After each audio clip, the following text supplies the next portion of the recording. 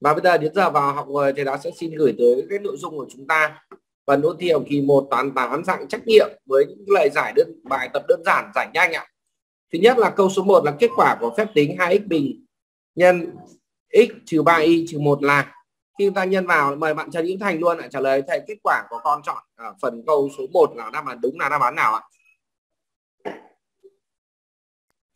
Thưa thầy nhìn nhầm là đi đáp án uh, C C à 2 bình nhân x là 2 nhân 3 uh, nhân với 3y nhân là trừ 6 uh, x bình y và trừ đi 2 x bình rất chính xác ạ. Tiếp theo đến với câu số 2. Mời bạn là tiếp theo nó sẽ trả lời cho thầy đó là bạn Hồng Anh nhỉ? Hồng Anh nhá. Là cho biết 3x cộng 5y tất cả bình bằng cái này thì m sẽ là bao nhiêu ạ? Em thưa thầy là em chọn đáp án D ạ. D ạ. Nó nó là hai lần tích của 3x cộng với cả nhân với 5y đúng không? Thì là thành là 30. 30 xy rất chính xác ạ. Như vậy chúng ta cũng không có gì khó khăn trong những cái bài trắc nghiệm ấy đâu ạ. Tôi đã nói ngay từ đầu giờ là đang cái phần ôn dưới dạng trắc nghiệm với phần kiến thức uh, cơ bản để chúng ta giả soát ạ. Tiếp theo đến với uh, câu số 4 là 3 4 5 6 với bốn câu này chúng ta sẽ có 2 phút chuẩn bị, 2 phút bắt đầu. Cho nên chúng ta phải học và ôn. Học thì cũng phải có hôm dễ hôm khó nhưng học nhiều khó quá nó nặng. Học dễ quá thì phải làm thật nhanh. Vâng hết thời gian. Mời bạn à, à, các bạn nhận thấy là cái câu số 3 mẫu thức chung của nó thì việc đầu tiên là các con các tình yêu của thầy phải đưa về thành tích đã cái thằng x bình cộng x thì chúng ta sẽ đưa về tích là x nhân x cộng 1 mẫu thứ hai mình đặt hai ra ngoài được x cộng 1 như vậy chúng ta sẽ có được mẫu thức chung là gì? Mời bạn Trịnh Tiến Đức trả lời thầy chúng ta đưa mẫu về thành tích mà mình xác định được mẫu thức chung, người ta hỏi đấy ạ. Thì mẫu thức chung của chúng ta sẽ là gì ạ? Rồi thầy giáo sẽ chuyển sang bạn Nguyễn Phương Anh ạ.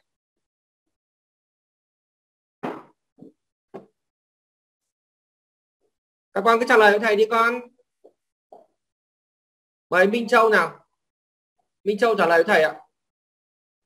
Em thầy em nghĩ là A. Dạ. Vâng ạ, là 2x nhân x cộng 1 chúng ta sẽ chọn đáp án A rất chính xác. Cảm ơn con.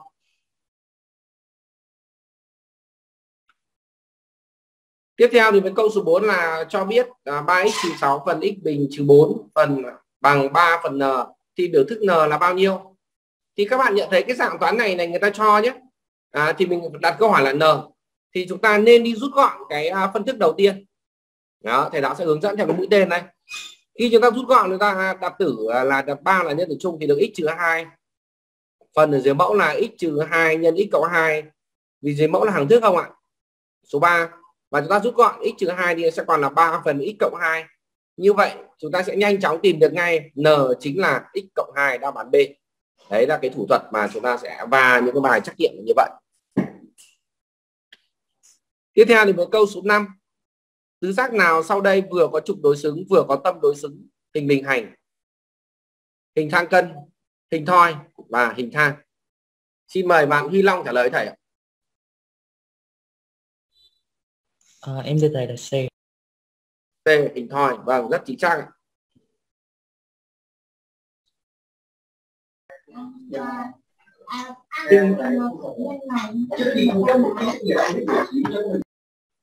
ta giúp thầy cái mic đi con này cái hình bình hành nó chỉ có tâm đối xứng thôi hình thang cân thì có trục đối xứng. Hình thang thì chả có gì cả. Rồi câu 6 á. Cho hình thang ABCD à, tôi sẽ điều chỉnh lại cái ký hiệu song song một chút nhé. À, khi nó chuẩn hóa sang thì nó hơi bị lệch cái ký hiệu à, song song chuẩn của nó ấy. tôi sẽ điều chỉnh một chút nhé CD song song MN thì toán học thì nó không cho phép sai như vậy chúng ta thử hiểu là trong quá trình công thức là nó nhìn được rồi đến với câu 6 á câu số 6 cho hình thang ABCD có AB song song CD song song, song MN M thì thuộc AD, N thì thuộc BC. Biết M là trung điểm của AD, NC bằng 4 và độ dài của đoạn BN sẽ bằng bao nhiêu? Đương nhiên các bạn nhận thấy rằng là để làm được nó thì chúng ta cũng phải phát thảo nhanh một cái hình thì mình sẽ quan sát hơn. Rồi còn bạn nào có IQ nó gọi thuộc loại vô cực rồi thì không nói làm gì, đúng không? thế thì à, thầy cũng xin phép là kể nhanh một cái hình à, nó không được đẹp lắm nhưng nó vẫn đảm bảo là hình thang đấy các bạn nhận thấy là chúng ta thường nói vui là máy tính nhiều lúc nó ngu nhưng mà nó cũng khôn ra phết vẽ ngoằn nghèo nó tự nhận được đấy là hình thang rồi chúng ta có thể nói đây là hình thang ABCD đi với M là thuộc AD N thuộc BC biết M là trung điểm của AD chúng ta phải lấy điểm trung điểm M là trung điểm nhé. M trung điểm AD xong. NC thì bằng à, 4 N thuộc BC NC thì bằng 4 MN thì lại song song rồi. MN song song, đúng không? Thì chắc chắn chúng ta suy ra ngay là cái thằng N là trung điểm không? NC bằng 4 thì BN sẽ bằng mấy ạ? Đấy, khi chúng ta vẽ hình ra, chúng ta nhìn thấy ngay. NC bằng 4 thì BN sẽ bằng mấy mời vẫn Minh trả lời thầy ạ. Đương nhiên thì chúng ta nói rằng là nếu mà MN nó song song thì theo định lý ở của trong tam giác à, trong hình thang là đường thẳng đi qua trung điểm cạnh bên thứ nhất song song với đáy hai đáy thì đi qua trung điểm cạnh bên thứ hai tức là BN bằng NC mà NC thì bằng 4 khi mình kẻ hình ra mình thấy ngay thì BN sẽ bằng 4 bởi vì N là trung điểm đúng không ạ? Như vậy thầy giáo đã vừa hướng dẫn chúng ta tư duy và giải nhanh câu 3 4 5 6 thì có ai có ý kiến gì không ạ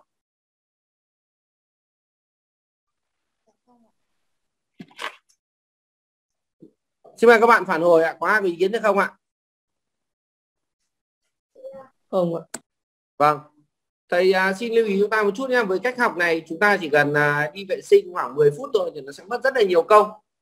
Và tôi cũng sẽ cố gắng để biên tập lại cái video trong buổi ngày hôm nay, nếu không có sự cố về camera. Cho nên tốc độ nó cũng khá là nhanh nên chúng ta phải tập trung, lưu ý là đừng ghi đầu bài nhé mà hãy nhìn đầu bài và giải nhanh ra nháp để chọn đáp án đúng để mình tập suy luận, giải trắc nghiệm ạ. Chúng ta sẽ đến với các câu tiếp theo. Và chúng ta sẽ tiếp theo đến với câu số 7 ạ. Cho hình thoi ABCD có AC và BD cắt nhau tại O. Thì AC bằng 18, BD thì bằng 12. Thì diện tích của tam giác AOB bằng bao nhiêu? Thì đương nhiên là các bạn nhận thấy rằng là để giải những cái bài tập này chúng ta cũng phải nên à, vẽ phát thảo ra một cái hình thoi đi.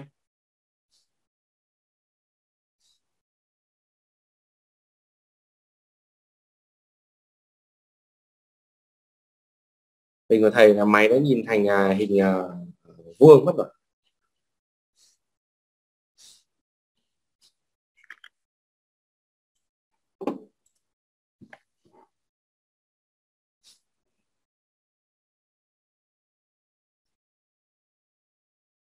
có kệ rồi nhé. Là sao. A, B, C, D. Hình thoi thì có bốn cạnh bằng nhau. Có AC 18 bây giờ mình có cái hình thoi ABCD đi. Hình thoi thì có hai đường chéo vuông góc này. Vẽ nhanh anh nhé.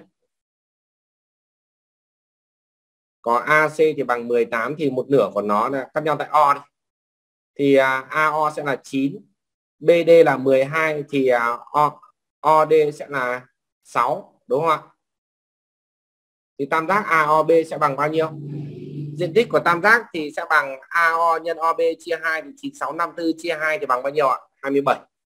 Đáp án đúng là đáp án D. Được chưa? Hình thoi thì vì tính chất là đường hình thoi là hai đường chéo cắt nhau và vuông góc. Đấy, cho nên chúng ta sẽ suy ra ngay là AO bằng 9 và OB sẽ bằng à, 6. Tiếp theo câu số 8 cho hình vuông ABCD có đường chéo bằng 4 thì độ dài cạnh của hình vuông sẽ là bao nhiêu?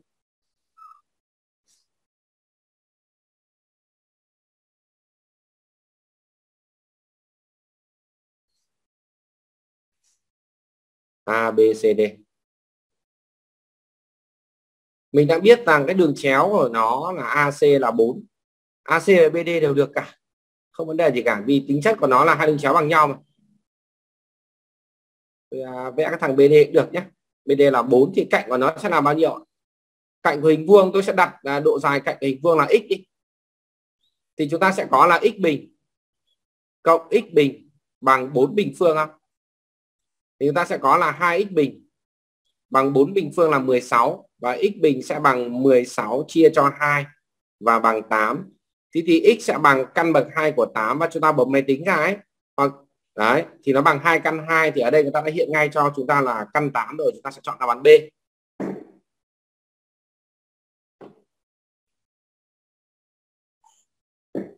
Tiếp theo đến với câu số 9 ạ. À. Cho x lớn bằng y, hãy chọn đáp án đúng. Thế thì nếu x lớn bằng y nha, thì hai lần x sẽ lớn bằng 2y là đúng. Nhưng nếu cộng 1 thì phải phải nhỏ hơn cộng 3 chứ. Đúng không? Cho nên đáp án A là sai. Phần B ạ. Nếu x lớn hơn y nhá, mà chúng ta nhân về số âm ấy, thì dấu của nó đảo chiều nhưng ở đây nó vẫn lớn hơn. Câu B sai. x lớn hơn y là 3 lần x phải lớn hơn 3 lần y nhé. Câu C sai. Chắc chắn câu D đúng. Chúng ta sẽ cùng kiểm tra nốt ạ x mà lớn hơn y mà mình cùng nhân với hệ số là âm 4 thì dấu nó đảo chiều chuẩn rồi và cùng cộng với hai nó vẫn nhỏ hơn. Như vậy đáp án D là văn đúng ạ.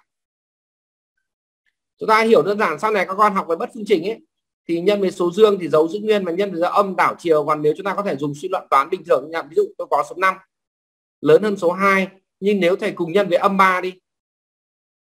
Đấy, các con nhìn nhá, âm 3 nhân 2 thì các con nhận thấy dấu của nó đảo chiều ngay ạ.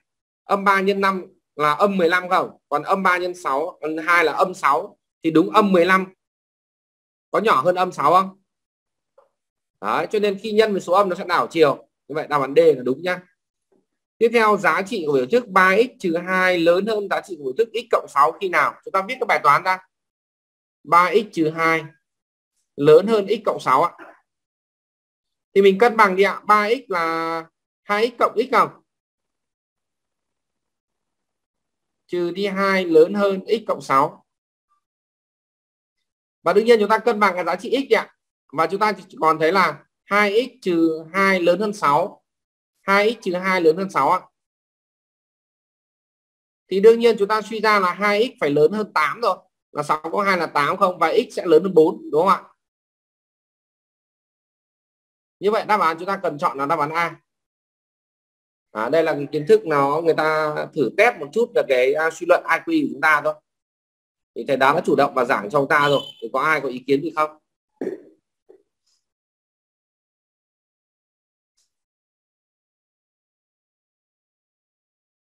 Các bạn à, sẽ tác phong nhanh nhẹn chỗ nào không hiểu hỏi luôn để chúng ta chốt còn chuyển sang phần khác ạ.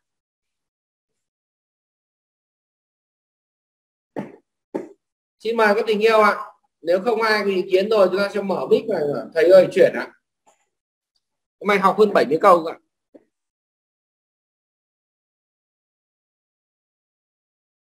Vâng chuyển. Cảm ơn bạn à, Huy Long đã phản hồi. Và bạn nào đam mê có thể là lúc nào rảnh à, chúng ta có thể à, um, mở video lên xem lại nhé. Chúng ta sẽ đến với câu 11, 12, 13, 14, 15. Thế thì năm à, 5 câu này thì nó sẽ cho các con 3 phút chuẩn bị, 3 phút bắt đầu. Nó rất nhanh đấy các con nhé. Thế trong cái à, tình hình học tập về dịch ra như thế này nhưng thầy giáo thấy là cái việc à, bạn à, những bạn học sinh có cái cá tính đặc biệt thì trong đó là có bạn Huy Long thì thầy giáo thấy là rất là khen con đó là tấm gương của những các bạn tập học tập khác. À, chúng ta phải không ngừng phấn đấu. Và thầy chả bao giờ thầy ghét ai cả. Nhiều lúc thầy có quá thì nói vài câu thôi thấy các con tiến bộ thầy rất là vui rất là mừng. Các bạn khác cũng cố gắng hơn. Chúng ta không cần phải khiêm tốn quá nhiều. Bởi vì mình khiêm tốn quá nhiều thì thành ra là mình cũng không có kiến thức đâu ạ. Nhưng lúc nào cũng bảo em làm được nhưng em khiêm tốn không nói. Mà khiêm tốn nhiều quá nó không ổn đâu nhé.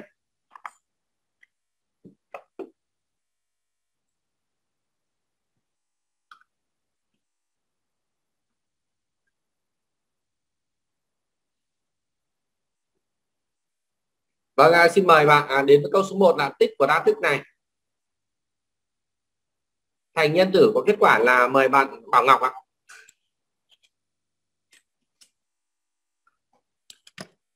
Bảo Ngọc có nghe rõ thì đó đang hỏi không ạ? Rất đơn giản và nhiều ạ. Vâng, chắc là đường truyền mạng có vấn đề hay sao? Vậy mời bạn à, Quân ạ. Em em thầy là đáp án B ạ vâng ạ chúng ta đấy là chính là quá trình phân tích các thức điện tử tôi đặt hai x ra ngoài thì được uh, x trừ ba rất chính xác hay một nốt nhạc kìa. Câu số 12 phân tích cái đa thức này thành nhân tử. Thì quan sát ngay chúng ta sẽ nhóm x bình cộng 4x cộng 4 là thức số 1 rồi trừ đi y bình để sử dụng tiếp là thức số 3 mời bạn à, có tên là bạn Thùy Linh. Thùy Linh ạ. À. Thùy Linh trả lời thầy theo con có chọn đáp án nào ạ? à?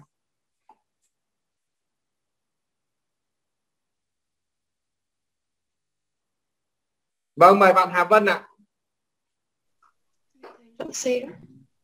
Vâng thì chúng ta sẽ được hẳn thức là x cộng 2 bình phương và trừ đi y bình. Bạn ấy chọn đáp án C là hoàn toàn chính xác. Và cảm ơn.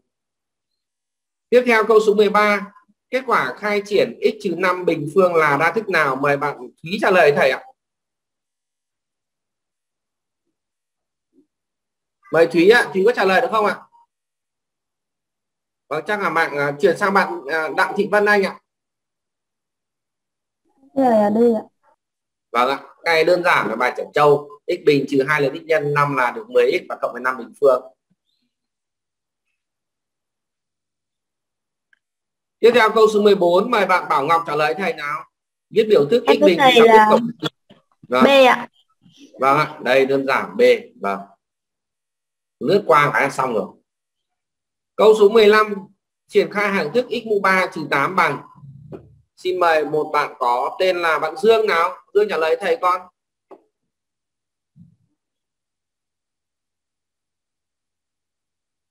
thầy uh, chuyển sang bạn uh, Hoàng Linh ạ à. Hoàng Linh trả lời thầy x mũ 3 trừ 8 ạ à.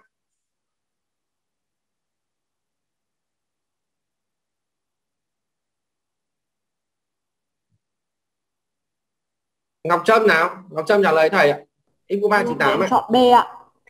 Vâng đây là 8 là 2 mũ 3 đây là thức số 7 bạn ấy chọn đáp án B là hoàn toàn chính xác. Thì bằng hiệu nhân với bình phương thiếu của tổng là thiếu hai lần tích nữa. Nó chỉ có x nhân 2 là 2 rất chính xác ạ. Như vậy chúng ta đã vừa chữa nhanh xong câu 11 đến câu số 15 có ai có ý kiến gì không ạ? Dạ không ạ. Vâng. Chúng ta được quyền học tập và chúng ta cũng được quyền phát biểu và nếu chúng ta không phát biểu thì thầy cũng đành chịu vậy vì nhà bao việc, đúng không? Chứ bảo là, thầy ơi, đợi con đi vệ sinh xong hay con rửa mặt, nhưng mà còn bao nhiêu con người nữa thì nó sẽ rất là lâu. Nên rất mong các con là học tập của cái nhóm này là mình gọi là đi học thêm ạ thì chúng ta phải nên có những cái ý thức tự giác riêng, chứ không còn phải là nhắc nhở bảo ban đến tới nơi đâu. Chúng ta sẽ tiếp tục đến từ câu số 16 đến câu số 18 với ba câu này. Thầy giáo sẽ cho các con 3 phút chuẩn bị. Vì nó có bài toán có lời văn nên chúng ta đọc đã lâu rồi 3 phút bắt đầu.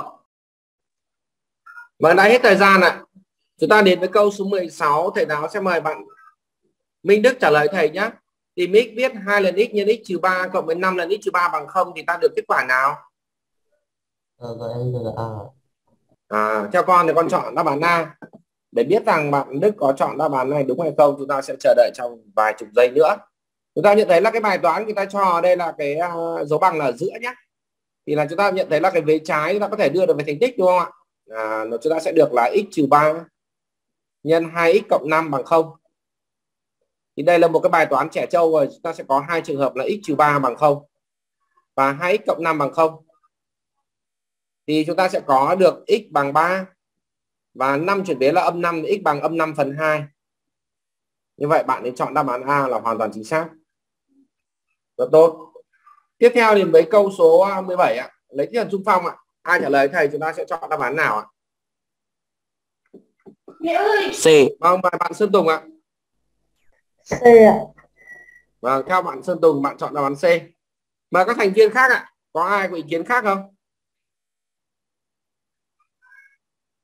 Và để biết được bạn Sơn Tùng có trả lời không, chúng ta sẽ cùng tìm hiểu cái lời giải một chút xíu nhé. Chúng ta nhận thấy rằng như sau này. Ông An dự định lát gạch ở sân vườn nhà ông bằng gạch hình vuông. Đây là một cái viên gạch nhé. Một viên gạch là có à, số đo là 60 nhân 60 thì diện tích một viên gạch nhé chúng ta sẽ có diện tích một viên gạch đúng không diện tích một viên gạch ạ một viên gạch nha tôi viết tắt ạ là sẽ bằng 60 nhân 60 bằng à, 3.600 ạ. 3.600 cm vuông. Vì sau này tí nữa nó có cái phép tính là đơn vị là mét nữa chỉ chúng ra sẽ thống nhất đổi về một đơn vị thôi. Đó, chắc các bạn thích để ra cm cũng được nhé tiếp theo là biết rằng sân hình chữ nhật có kích thước chiều rộng là 3 và chiều dài là 9,6 thì diện tích của hình chữ nhật. Hình chữ nhật sẽ bằng 3 nhân 9,6 ạ và bằng bao nhiêu nào?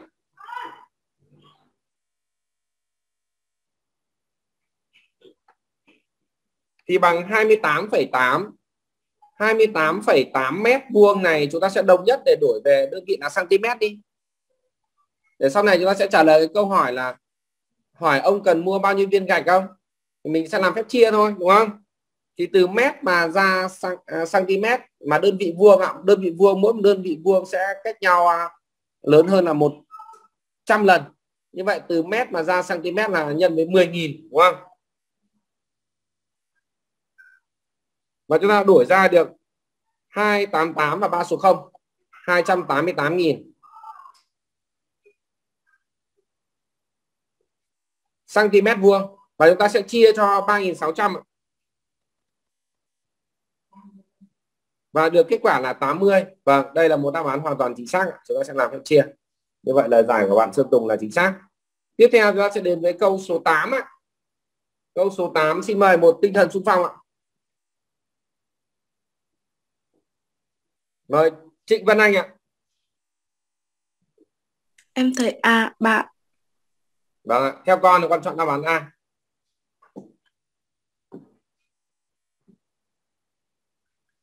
Đó, đương nhiên là để biết được bạn à, Trịnh Văn Anh trả lời đúng hay không chúng ta sẽ chờ đợi trong khoảng một phút nữa.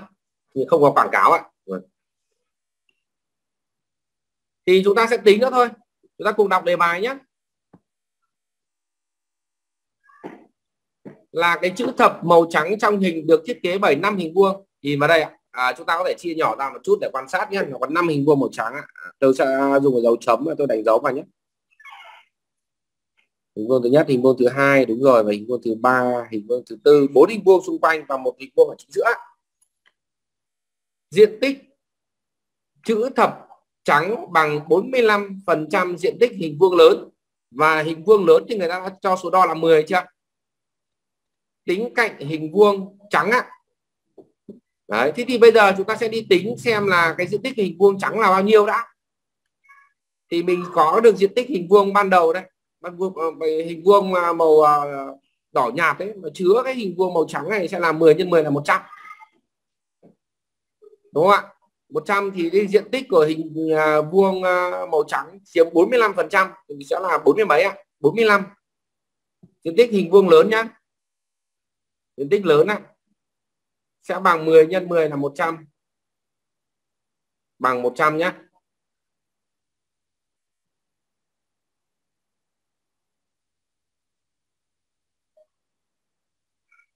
à, ghi là đơn vị diện tích nếu mà vào bài thi người ta không cho nó đơn vị là bao nhiêu mình ghi là đơn vị diện tích ạ.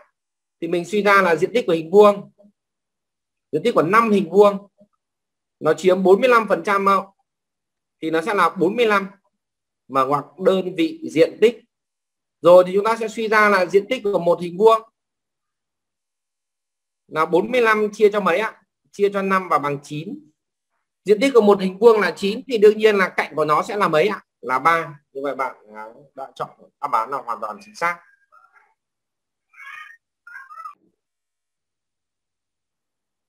Hai phút chuẩn bị bắt đầu.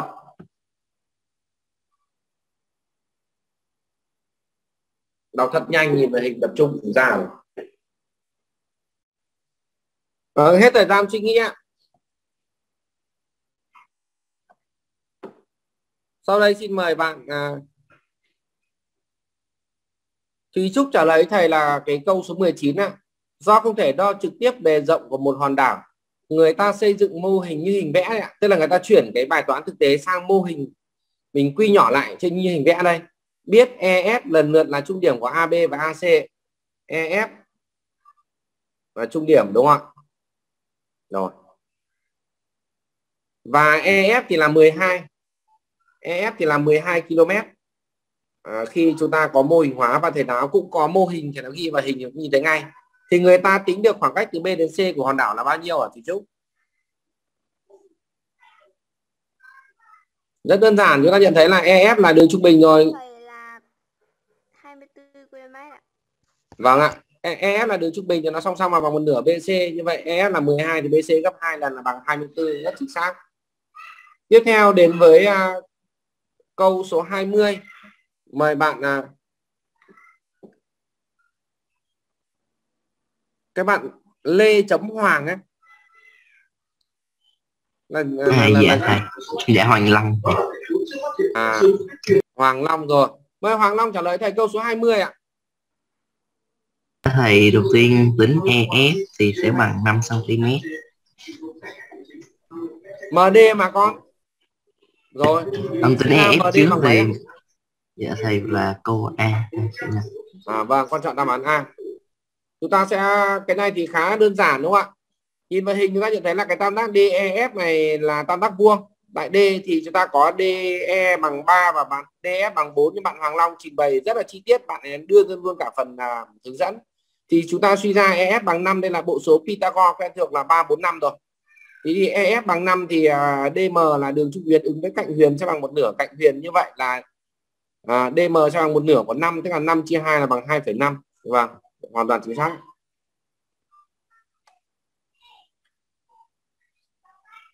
Kết thúc câu số 19 và 20 có ai ý kiến gì không ạ?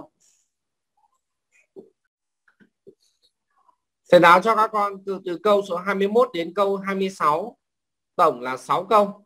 Thầy giáo sẽ cho các con 4 phút chuẩn bị 4 phút bắt đầu. Thế thời gian thôi chúng ta đến với câu số 21 thì mời bạn Vũ Thị Thùy Dương chuẩn bị trả lời ạ.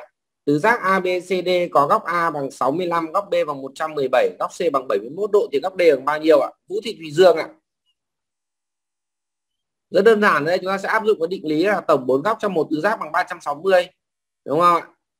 Xin mời bạn Hồng Anh hỗ trợ cho bạn à, Dương ạ vì mic của bạn em, hỏng. em thầy thầy Đó. là B ạ À, vâng, con chọn đáp án B chúng ta tự trừ hộ thầy với nhá.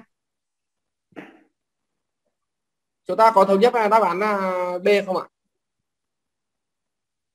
C ạ Tiếp theo. Vâng. B nè Vâng, có ai ý kiến gì ạ?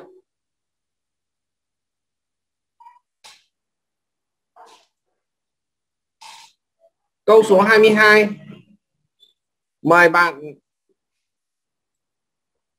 Trịnh Việt Đức chuẩn bị trả lời ạ. Hình bình hành có một hình thôi ạ. thì là gì ạ? Hình bình hành có một góc vuông, vâng, nó là hình à, hình dạng.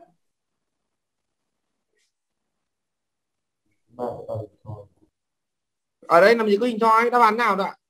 Hình bình hành có một góc vuông ạ. em ta hình chữ nhật ạ ạ? em Vâng. đọc nhầm ạ Nhật chứ, đúng không? Theo dấu hiệu nhận biết. mà ạ Tiếp theo bạn Bùi Yến Nhi sẽ trả lời câu 23. Kết quả của phép tính này là bao nhiêu ạ? Bùi Yến Nhi ạ. Vâng, sẽ chuyển sang bạn Thùy Trang ạ.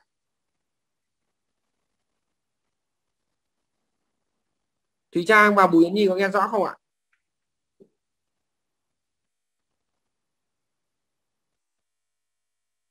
Mời Cẩm Ly nào. Cẩm Ly trả lời thầy câu số 23 ạ. em thưa thầy em cho đáp án C ạ À, theo con con chọn đáp án C ta cùng kiểm tra nhé. 3x bình nhân 2x là 6x mũ 3, 3x bình nhân trừ 3x là trừ 9, x bình y và 3x bình nhân 51 là trừ 3x bình, hoàn toàn chính xác. Câu số 24. Bạn Lê Thu Trang chuẩn bị trả lời ạ. Cho A bằng mà ngoặc x mũ 3 trừ y mũ 3 đóng ngoặc chia cho x bình cộng x y cộng y bình thì giá trị của biểu thức A tại x bằng 3,5 y bằng 2,5 là bao nhiêu? Theo con có chọn đáp án nào ạ? Em thấy em thấy em chọn đáp án A Vâng, theo con chọn đáp án A chúng ta sẽ cùng theo dõi ạ. Nếu mà chúng ta khai triển cái hàm đẳng thức này x mũ 3 trừ y mũ 3 ấy, thì nó sẽ được là x trừ y nhân với x bình cộng x y cộng y bình thì nó chia cho thằng này là hết không? Như vậy cái tích này nó chỉ còn lại là gì thôi ạ? Cái tích này nó chỉ còn lại là x trừ y đúng không ạ? Và chúng ta sẽ thay x bằng 3,5 và y bằng 2,5 vào thì 3,5 trừ 2,5 thì đúng bằng 1 đó. Và bạn ấy chọn hoàn toàn chính xác đáp án A. Câu số 25. Thầy giáo sẽ mời bạn Như Thắng à, trả lời chuẩn bị trả lời với thầy ạ. điều kiện xác định của phân thức 5x cộng 10 phần x bình trừ 2x là bao nhiêu ạ? Con chọn đáp án nào ạ? Như thắng ạ. Em thầy em chọn đáp án C rồi vâng. Chúng ta sẽ cùng kiểm tra nhé. Thì điều kiện xác định ý, thì các con phải đưa cái mẫu này về thành tích cho thầy đã. Chúng ta sẽ có đặt x ra ngoài thì được x trừ 2 và cái này mẫu nó phải khác không ạ? Đây chính là điều kiện xác định ạ. Mẫu khác không ấy, chúng ta giải dấu khác không như giải dấu bằng nhé. Thì chúng ta sẽ có là x phải khác không và x trừ 2 phải khác không. Như vậy, x khác không rồi, x trừ 2 khác không nữa thì x khác 2 như vậy là chúng ta nhận thấy rằng x phải khác hai giá trị là 0 và 2 như vậy, đáp án cuối cùng chúng ta lựa chọn sẽ là đáp án D x khác 0 và khác 2 bạn ấy hơi bị nhầm một chút xíu thôi đúng không? Tiếp theo đến với câu số 26 ạ. Tôi sẽ mời bạn có tên là Khánh Linh sẽ trả lời cho thầy câu số 26 nhé. Cho biết là mở ngoặc x cộng 2y mũ 3 bằng x mũ 3 cộng 6x bình y cộng m cộng 8y mũ 3 thì thực ra đây là bài toán khai triển hàm đẳng thức thôi. Bạn Khánh Linh trả lời cho thầy ạ. Thì con chọn đáp án nào? Ờ à rồi, em cho thầy là a con chọn là a. Chúng ta sẽ có là x mũ 3 này, cộng 3 lần x bình nhân 2 lần y này thì được 6 lần x bình này, cộng 3 lần x nhân 2y tất cả bình. 2y tất cả bình là 4y bình và nhân với 3 là thành 12 xy bình. Đúng không?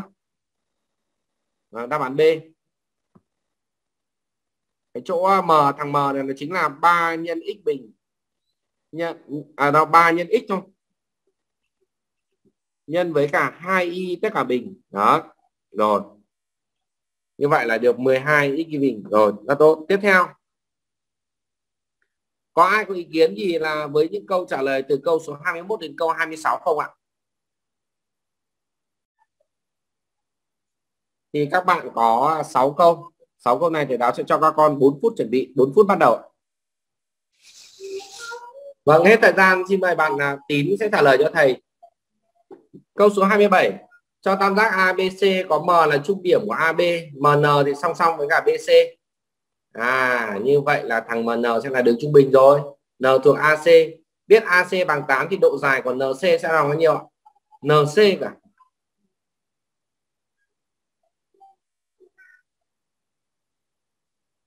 AC bằng 8 thì NC bằng bao nhiêu Và chúng ta nếu chúng ta có thể vẽ nhanh một cái hình thì tam giác thì nhận thấy là MN là đường trung bình tức là N là trung điểm rồi. Vẽ nhanh à, hơi xấu một chút nhé kệ A B C. À, thằng M là trung điểm này. Rồi này.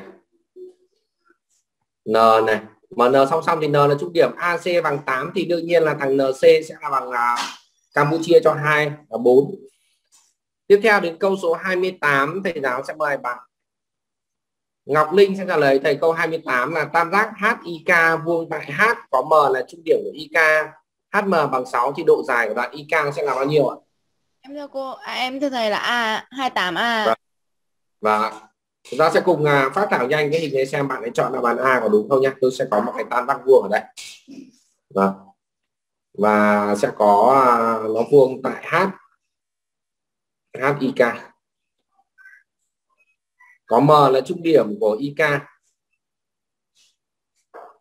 Đường trung tuyến đường với cạnh viền rồi.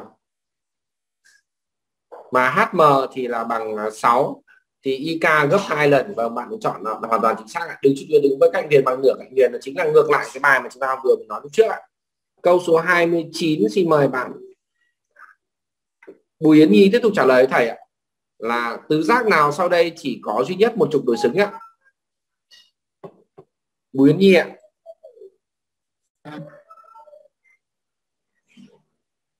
Mời bạn Nguyễn Nam Nguyên hỗ trợ ạ. Ờ, chắc bạn nhà Nhi bị, ờ, bị lỗi ạ. Em thầy là B ạ. B tứ giác có một trục đối xứng hình chữ nhật hai. Hình thang cân một và hoàn B câu số 30 mời bạn à, Hồng Anh trả lời thầy ạ cho hình thoi ABCD có cạnh AB bằng 8 AC bằng BD thì diện tích hình thoi sẽ là bao nhiêu? BD là đường chéo rồi. Để chúng ta sẽ vẽ nhanh một cái hình thoi ra xem thế nào.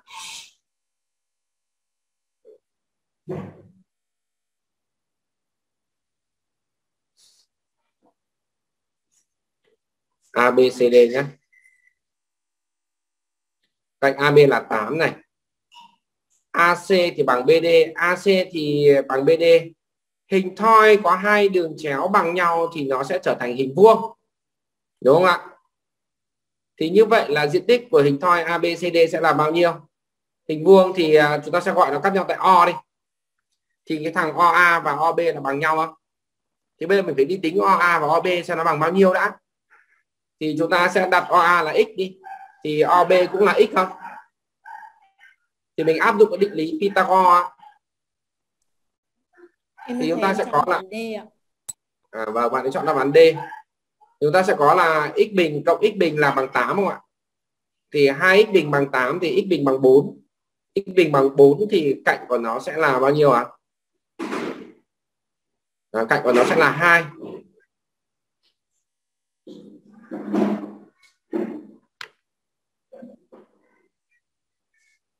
Ơ đùa. Sao là dễ này mà mình lại đi tính ở đâu ấy nhỉ? Đánh lừa đúng không? Người ta bảo diện tích hình thoi ABCD chỉ cần 8 nhân 8 nên cần mình đi tính uh, bên trong để đọc nhầm đúng không ạ? Anh em phải không ạ? Và đúng rồi chỉ 8 nhân 8 nên cho này làm gì đâu? À, cái này cái hình thoi thì có hai đường chéo bằng nhau để nó trở thành hình vuông. Mà hình vuông này thì có một cạnh là 8 thì đương diện tích bằng 64 thì tính cái gì ở đâu cho nó lâu? Đúng không nào? Vâng câu trả lời hoàn toàn chính xác. Như vậy cái bạn dâu ria này có thể không cần thiết bỏ đi. Rồi đấy kể cả thầy thì có những lúc thầy nhầm ấy thì lạc đề ngó nghiêng lại như thấy là à, nhầm nhọt sang trồng trọt không vấn đề gì cả. Vậy bạn Phương nào? Phương trả lời thầy câu số 31 nhá. Kết quả của phép tính 15x bình y trừ đi như này chia cho 5x y là bao nhiêu? Phương ạ. à. Em nghe thầy là B. B à? 15 chia thằng 5 này còn 3 rồi, x bình chia x thì còn được x, y hết. Trừ 4 x x hết được y là chia được 5 như vậy là bạn B hoàn toàn chính xác. Rồi, nhìn nhanh này là tư duy và hình dạng. Câu số 32 mời bạn Minh Đức trả lời thầy. Kết quả của phép tính này. Đây là hàm thức số 1 nếu mà nhân vào từ hai triển nó ra sẽ được là gì ạ? Mời Minh Đức ạ dạ em về A con chọn đáp án nào ạ? Dạ A con con khai triển nó ra x cộng 2y tất cả bình thì bằng x bình. Cộng với hai lần x nhân 2y là được 4xy và cộng với 2y tất cả bình là được 4y bình. Như vậy chúng ta sẽ chọn đáp án D. Đúng không? Này hoặc con nhân và con thu gọn đi hoặc là nó chính là x cộng 2y tất cả bình phương. Đấy chúng ta khai triển nhé như vậy là chúng ta đã vừa hoàn thành chữa từ câu 27 đến câu 32 có ai ý kiến gì không ạ? Các con suy nghĩ từ câu 33 đến câu 36 đến phút thứ 35 thì nó sẽ chữa 2 phút chuẩn bị bắt đầu. Đọc nhanh ạ. Hết thời gian suy nghĩ, xin mời bạn Trần Hữu Thành trả lời thầy câu số 33 điền vào chỗ chấm để được kết quả đúng.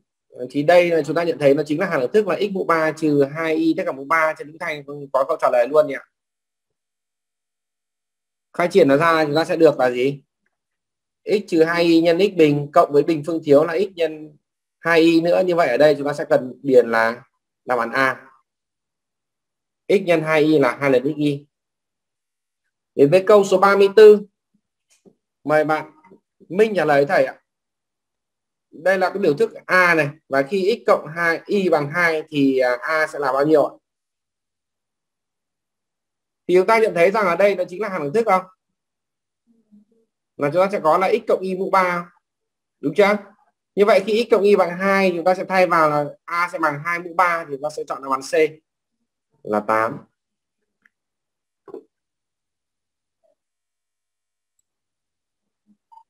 tiếp theo mời bạn Thanh Đình ạ trả lời thầy câu số 35 cho hình thang cân ABCD có AB song song CD biết góc D bằng 70 thì khi đó góc C bằng bao nhiêu ạ? Góc C bằng 70 độ B ạ. À, vẽ phát thảo nhanh một chút cái hình thang cân. Đó. bảo mày à, cân không hiểu ý lắm nó không hiểu tiếng việt các em ạ. Đúng không ạ? Vâng một cái hình thang cân. Thì thường là các bạn ấy mà có tố chất thì không nói gì. Còn nếu không, chúng ta có thể nói là một hình thang cân ABCD này, vẽ nhanh này, thì thằng D bằng 70 này. Thì góc C ở đáy không? Nó cũng sẽ bằng 70 chưa hình thang cân thì hai góc kề bằng đáy bằng nhau, bạn chọn hoàn toàn chính xác. Câu số 36 mời bạn Hồng Ánh trả lời thầy cho hình thang ABCD. vâng bạn đã chọn đáp án A, chúng ta cùng kiểm tra cho hình thang cân ABCD có AB bằng 9 CD bằng 13 M là trung điểm của AD N là trung điểm của BC thì độ dài đoạn thẳng MN sẽ là bao nhiêu? Rồi, chúng ta sẽ phát thảo một chút cái hình thang ABCD nha.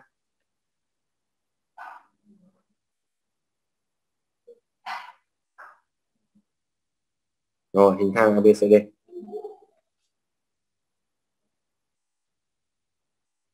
có AB thì bằng 9 CD thì là 13 M là trung điểm của AD N là trung điểm của BC thì đương nhiên MN là đường trung bình rồi. Có phải không anh em? MN là đường trung bình sẽ bằng nửa tổng hai đáy 9 cộng 13 là 22 chia cho 2 bằng 11 đáp án hoàn toàn chính xác.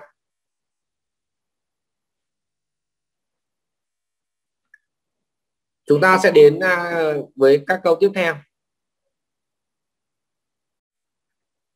Từ câu 37 đến à, câu số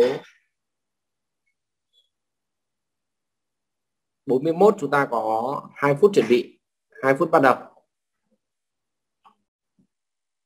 Vâng, hết thời gian suy nghĩ ạ. Câu số 37 xin mời bạn Hồng Ánh trả lời thầy ạ. Tứ giác nào sau đây có tâm đối xứng mà không có trục đối xứng ạ? Em ăn thầy là đáp án D ạ còn D hình bình hành nó có tâm rất chính xác. Câu số 38 mời bạn Minh Minh Châu trả lời thầy ạ. Cho tam giác ABC vuông tại A có AB bằng 9, AC bằng 12 thì M là trung điểm của BC khi đó độ dài đoạn thẳng AM là bao nhiêu? Minh Châu ạ. Khả năng là đường trung tuyến đứng với cạnh Huyền thôi. Nếu không biết biết rõ thì chúng ta có thể kể nhanh cái hình người ta. Đúng không? Đó. Chuyển sang bạn Vũ Trung Kiên hỗ trợ ạ. Bởi Minh Châu như không nghe rõ câu hỏi của thầy. Tam giác ABC vuông tại A. Có AB bằng 9, AC là 12 ạ thì à, M là trung điểm ạ. M là trung điểm rồi. Thì à, khi đó độ dài đoạn thẳng AM là bao nhiêu thì các con nhận thấy là chúng ta phải đi tính cái cạnh BC theo bộ số Pythagore đã. Đúng không? BC là bao nhiêu và AM sẽ bằng một nửa BC thôi ạ. Vâng mời Hồng Ánh hỗ trợ ạ. Em có thể là 7,5 ạ. 7,5 vâng. Thì à, theo áp dụng định lý Pythagore thì mình có là BC bình sẽ bằng 9 bình cộng 12 bình không là thành 225 thì BC là 15 thì AM là bằng một nửa của 15 không sẽ là 7,5 đó tức là chúng ta sẽ tính được BC sẽ bằng 15 đấy nhá. Và AM thì bằng một nửa của BC không? Rồi. Tiếp theo câu 39 mời bạn. Thúy Linh trả lời ạ phép nhân này là bao nhiêu ạ Thúy Linh ạ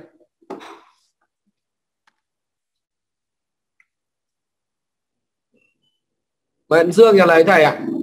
Thì kết quả phép nhân này khá đơn giản, là x nhân trừ x này cộng với x nhân x này, chúng ta sẽ được là trừ x bình cộng với x y. Đáp án B. Câu 40 cho x bằng y thì giá trị của biểu thức này là bao nhiêu? Các con nhận thấy đây chính là hằng thức số 4 ạ. Đúng không? Thì nó chính là cái này nó chính là gì nào? À, nó chính là x trừ y tất cả mũ 3 mà x bằng y thì hiệu của nó bằng không. Như vậy chúng ta sẽ chọn đáp án B. Câu số 41 ạ. Phân thức đối của phân thức này thì chúng ta nên đi thu gọn nó đã. Chúng ta thấy là tử và mẫu đang ngược dấu chỉ cần đặt dấu âm ra ngoài được x trừ y. Phần x trừ y. Và khi mình rút gọn thì có giá trị là bằng âm 1 ạ. Như vậy phân thức đối của nó sẽ có giá trị là bằng mấy ạ? Là một. Như vậy chúng ta sẽ chọn đáp án gì? Đáp án C. Âm 1 thì đối với nó là dương 1. Câu số 42 tìm x biết 1 phần x trừ 1 bằng 1. 1 chia số nào bằng 1 chưa chính nó là 1 thì x trừ 1 bằng 1 thì x phải là số mấy ạ? Số 2. Không có gì khó cả. Đấy là câu số 42 tiếp theo chúng ta sẽ đến với các câu. Một phút nữa thì làm sao gọi chúng ta sẽ trả lời nhanh và để phản ứng của chúng ta. Gọi bất kỳ một ai chỉ gọi đúng một lần, sau đó thầy nào hướng dẫn luôn nhé. Mời bạn Hà Đức trả lời thành câu số 43 hình thang ABCD có AB song song CD gọi MN theo thứ tự là trung điểm của AD và BC như vậy là AD BC thì MN là đường trung bình rồi. Thì biết tổng của AB và CD bằng 12 thì MN bao nhiêu? Hà Đức ạ như vậy là MN là đường trung bình sẽ bằng nửa tổng hai đáy, mà tổng hai đáy là 12 thì MN sẽ bằng 6 ạ. Câu số 44 sẽ dành cho bạn Vũ Phong ạ. Tứ giác có hai đường chéo bằng nhau và cắt nhau tại trung điểm của mỗi đường thì tứ giác đó là tứ giác có hai đường chéo bằng nhau và cắt nhau tại trung điểm của mỗi đường thì tứ giác đó là hình gì? Vâng đó chính là hình chữ nhật hai đường chéo cắt nhau, tại trung điểm của mỗi đường là hình bình hành này, có hai đường chéo bằng nhau thì nó là hình chữ nhật. Câu số 45 là bạn Đặng Vân Anh ạ. Đặng Thị Vân Anh ạ. Hình bình hành có hai góc kề một cạnh bằng nhau thì là hình gì ạ? Hình bình hành có hai góc kề một cạnh bằng nhau thì là hình gì ạ?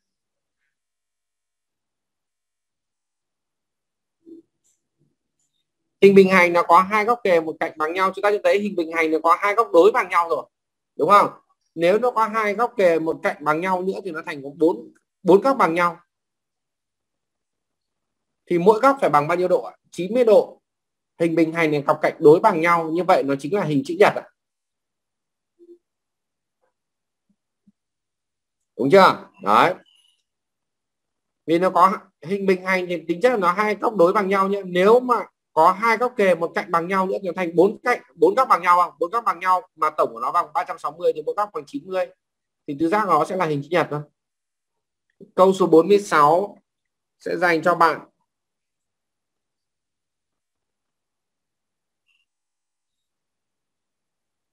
Nguyễn Nam Nguyên ạ. Cho tam giác ABC vuông tại A có AH này.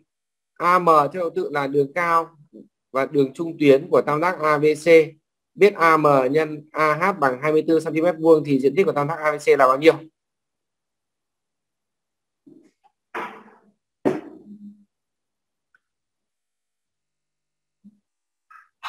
Và mời bạn uh, Thanh Bình hỗ trợ.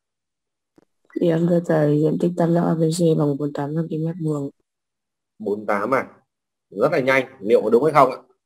Một cái tam giác ABC chúng ta sẽ phát thảo nhanh một chút nhé. ABC vuông tại A. Rồi.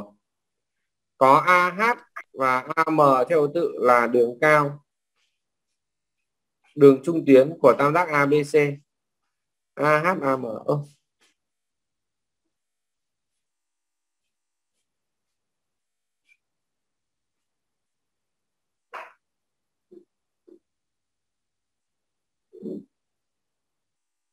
AH là đường cao. Rồi. Còn AM là đường trung tuyến.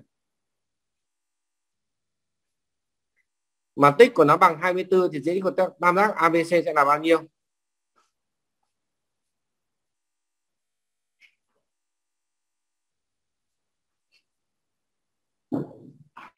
AH nhé AH thì mình chưa biết.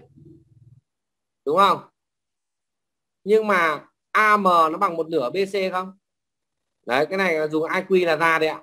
Rất là, ý này rất là hay. Thì diện tích của tam giác ABC có thể tính là AC nhân AB chia 2 nhé. Hoặc có thể bằng AH nhân BC không? BC chưa biết, nhưng mình lại tích, biết biết được cái tích là AH nhân AM không ạ. AM nhé AM thì bằng BC trên 2 không? Chúng ta sẽ thay vào đây là AM sẽ thay bằng BC trên 2 thì có phải là đúng là diện tích của tam giác ABC có thể tính là bằng AH nhân BC chia 2 chưa đẩy AH nhân BC chia 2 bằng 24 như vậy diện tích của tam giác ABC chính là 24 đúng không? Bạn bạn bạn Bình nhìn thấy chưa như vậy chúng ta sẽ chọn đáp án đúng là đáp án gì ạ? B. À đây là câu hỏi nó khó IQ một chút. Chúng ta đã nhìn thấy chưa ạ? AM thì bằng BC chia cho 2 nhé. Đường trung tuyến đứng với cạnh huyền không? Thì nếu mình thay ở đây thì đúng là BC trên 2 nhân với là dạ AM bằng 1 phần 2 BC suy ra là tam giác à, à diện tích của tam giác ABC sẽ bằng AH nhân BC thì phải chia AH nhân BC chia 2 bằng 24 thì AH nhân BC phải bằng 48 ạ. không nhưng người ta hỏi diện tích mà Vâng thầy. Diện tích tam giác ABC chính là AH nhân BC chia 2 mà. Có hiểu chưa? Bạn mình thấy ok chưa ạ? Vâng chị ấy có hiểu chưa hay là vẫn phản hồi lại ạ để tôi còn biết ạ. Ừ, hiểu rồi. À vâng. Câu số 47 x cộng 1 bằng 0 thì giá trị biểu thức này là bao nhiêu thì đương nhiên tới chỗ này là mình tìm được x bằng âm 1 không ạ? Thì còn cái biểu thức của người ta cho chúng ta có thể diễn đạt lại nó chính là x cộng y mũ 3. Thế thì à, giá trị biểu thức này là bao nhiêu? x là âm 1. Hay là x cộng y nhỉ? chắc là bị nhầm nhọt đánh máy rồi anh em sửa thầy là cái này là chính là mình hiểu là x cộng y bằng một nhé bằng không đi như vậy là giá trị biểu thức này sẽ là bằng không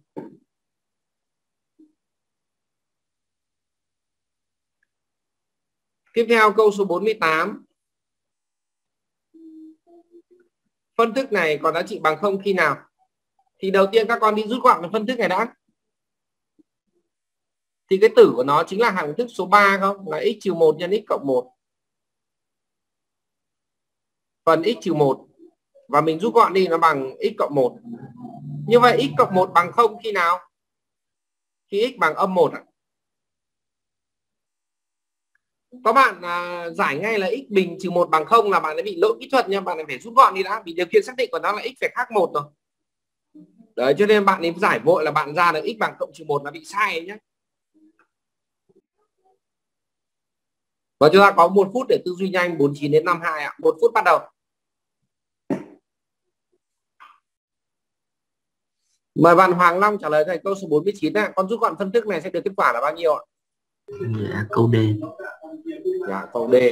Chúng ta sẽ cùng kiểm tra nhanh một chút là chúng ta sẽ đưa cả tử vào mẫu về thành tích thì mình đặt x ra ngoài. Thì được x cộng y. Và ở dưới mẫu của nó sẽ là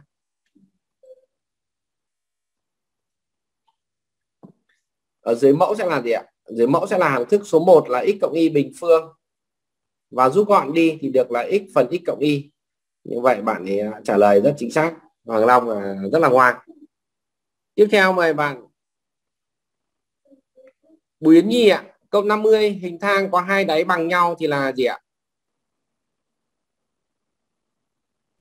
Em thầy là A.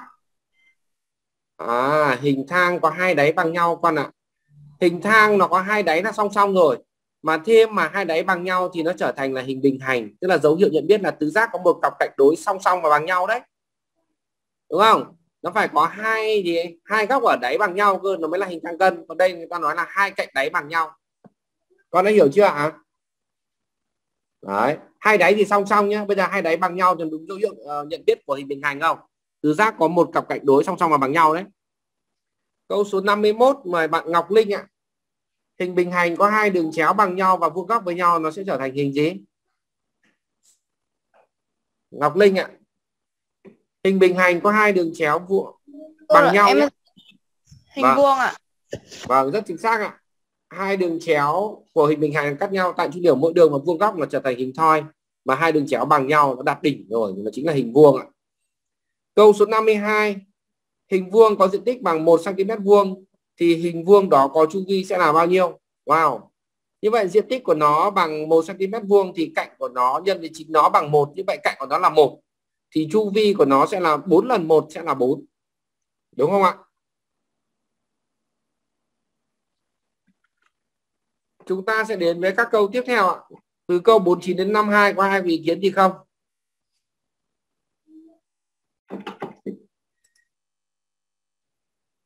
Mời bạn à, Trịnh Việt Đức trả lời với thầy là câu 53. Hình bình hành ABCD có diện tích là 24 cm vuông. Lấy M trên cạnh AB thì diện tích của tam giác MCD sẽ là bao nhiêu? Một cái hình bình hành có diện tích bằng 24 và lấy một điểm M trên AB thì diện tích của tam giác MCD sẽ là bao nhiêu?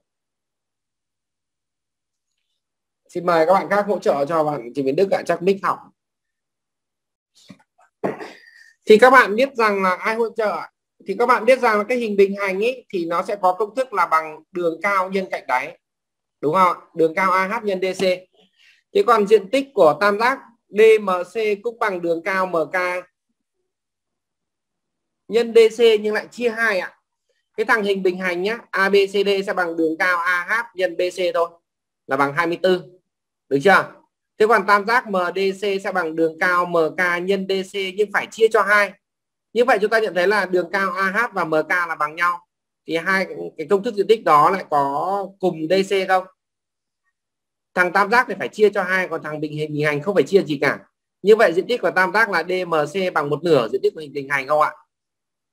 Các bạn đã nhìn thấy chưa tam giác AB à, hình bình hành ABCD nhé có đường cao AH nhân DC còn tam giác MDC thì có đường cao MK nhân DC nhưng phải chia hai.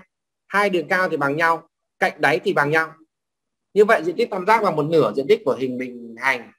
Như vậy chúng ta sẽ chọn đáp án đúng là đáp án 12 một nửa của 24 là 12 câu số 54 phép nhân này thì quá đơn giản này. 2x nhân 3x là 6x bình trừ đi 8x y. 6x bình trừ 8x y đáp án A. Câu số 55 phép nhân này thì chúng ta thấy đây là chính là thức số 3 chúng ta sẽ có là à đâu nhầm nhầm nhọt sang trồng trọt đấy anh em. Mình nhân nhé x nhân 2x là 2x bình. Trừ x nhân à, x nhân trừ y là trừ x y. Đấy, cộng 14 x ghi thì còn uh, 3 x ghi thôi. Trừ ai già nhân cả thận nhầm đấy nhỉ? À, mời bạn uh, Hà Vân trả lời thầy câu số 55 có chọn đáp án nào ạ?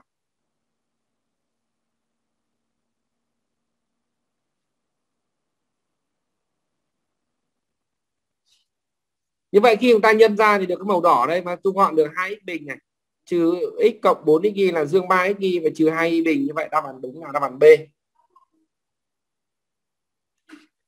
câu số 56 Khánh Linh trả lời thầy ạ. Phân tích đa thức thành nhân tử này thì ta được kết quả nào?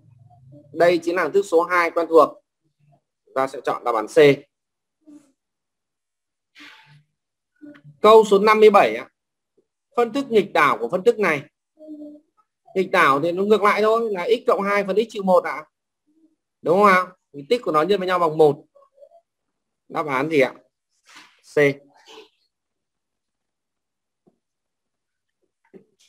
Tiếp theo, phân thức x, phần x bình trừ 1 không xác định khi x bằng bao nhiêu Không xác định khi mẫu khác không ạ. Không xác định khi x à, khi mẫu bằng không ạ. Khi x bình trừ 1 bằng không, thì ta suy ra x bằng cộng trừ 1. Như vậy nó không xác định khi x bằng cộng trừ 1.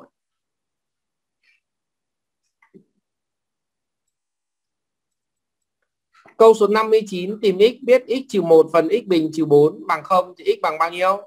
Một phân thức bằng 0, cái mẫu này không giúp phân thức này không rút gọn được nữa nhé. Chúng ta lưu ý nhé. Không rút gọn được nữa.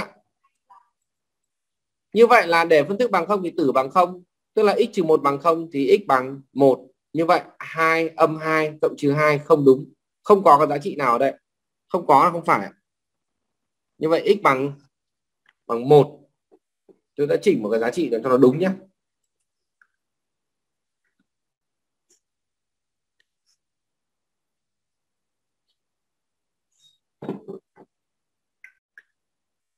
Như vậy còn lại câu 60 đến câu 63 chính là phần bài tập về nhà và bây giờ đã là hơn 8 giờ rồi.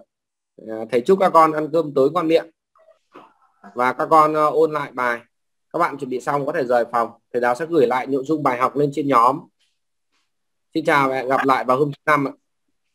Ờ.